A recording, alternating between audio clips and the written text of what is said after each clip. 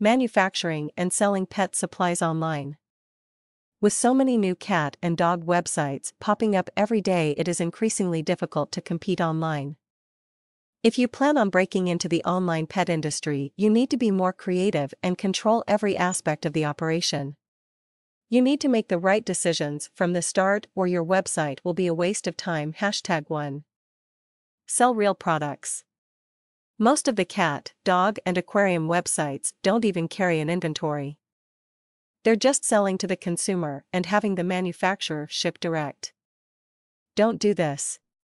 Yes, you can make some money reselling somebody else's products, but it's never going to be lucrative. You need to sell your own products direct to the customers and keep 100% of the profit. Hashtag 2. Don't let other people sell your products on their site. It can be tempting to let somebody else market your pet products.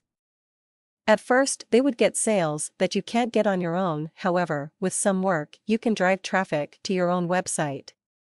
You don't want to have other sites competing against you with your products. It is also annoying to have different sites pulling you in different directions. Hashtag 3 Forget the stores. Although selling your cat, dog, or aquarium products in stores sounds good, you won't be able to get your costs low enough to compete against the major manufacturers unless you have a huge manufacturing operation. Your profits will be weak and both you and your distributors will be disappointed. The best route is to have total control over every aspect. Make the products yourself, market them online through your website, and don't bother with a retail store.